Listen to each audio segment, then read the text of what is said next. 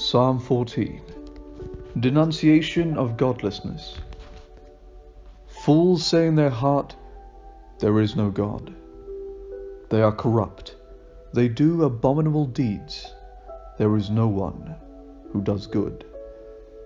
The Lord looks down from heaven on humankind to see if there are any who are wise who seek after God. They have all gone astray. They are all alike perverse.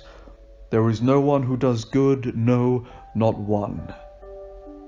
Have they no knowledge, all the evildoers, who eat up my people as they eat bread, and do not call upon the Lord?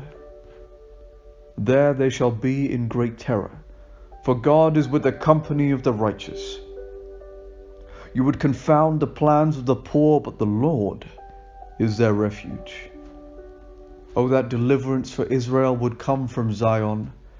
When the Lord restores the fortunes of his people, Jacob will rejoice, Israel will be glad.